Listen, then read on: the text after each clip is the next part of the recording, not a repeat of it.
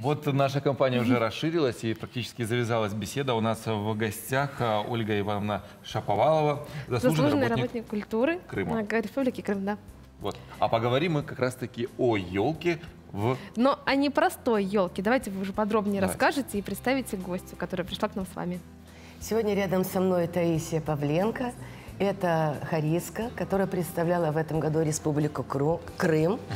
В составе вот той делегации. А делегация представляла собой пять детей.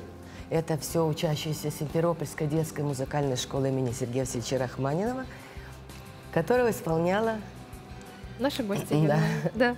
Ну, дело в том, что, насколько я знаю, что э, ежегодный концерт детского хора в Кремле прошел, да, и наши дети тоже принимали там участие. Да, это уже пять лет традиционным стало. Это мероприятие.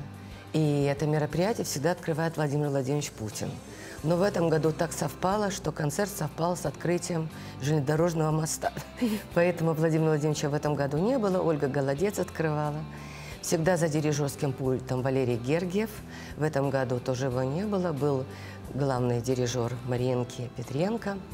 Вот. И концерт 23 декабря состоялся в Кремлевском дворце съезда, что уже пять лет имеет место быть.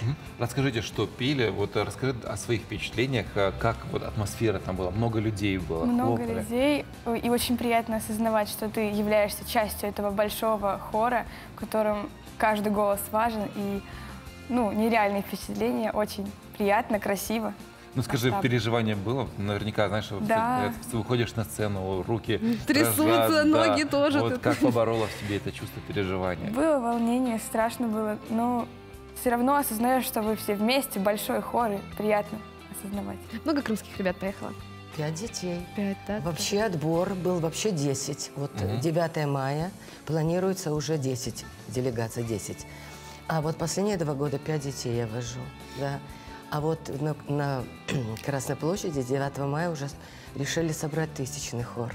У вас, наверное, прям, если говорят, пять человек, это лучшие из лучших, вы едете Да. сюда как звездочки, А, наверняка какой-нибудь там чуть ли не кастинг проходит, Это чтобы правда. А каждый расскажите, сказал, как- что мой как голос готов этот к этому? Как всему. это правда. это? Когда мы вступили в, в Россию, в родную гавань, приехало большое жюри из Москвы. Это где-то 8-9 человек, жесточайший был отбор. Вот, и пение акапелла, и знание сольфеджио. И то есть отбирали, и потом возраст детей, если уже имел место, пере- перешагнуть через 15, то отбираются уже другие дети, тоже проходят экзамен, и потому что это все отличники нашей школы. Все пятеро детей – это отличники по всем предметам. Это действительно сегодня гордость нашей школы. Вы ей задали вопрос, переживала ли она, когда открывается занавес Кремлевского дворца, мы, хормейстера, все плачем. Да ладно. это правда. Ну вот представляете, в этом году 600 детей. Это красота необыкновенная. Это, это такое чувство гордости. А записи наверняка остаются у Да, вас, она остается. Я никогда не забуду. Мы встретились э, с э, Валерием Сергеевичем Аксеновым. Обычно традиционно всегда там главы федеральных округов. И мне говорят, был утром репортаж, и он сказал, если бы я не знал, что такое Россия, но услышал бы этот хор, я бы хотел стать россиянином. Я это запомнила на всю жизнь, потому что это действительно вот такое впечатление. Вот каждый раз уже шесть лет я там, и каждый раз у меня чувство гордости, как будто это все в первый Ну, раз. в душе вот. Да. Хорошо, спасибо большое. Вот Смотрите, я же тоже заволновался, общаясь с вами за вашу компанию и желаем вам дальше, дальнейших творческих успехов.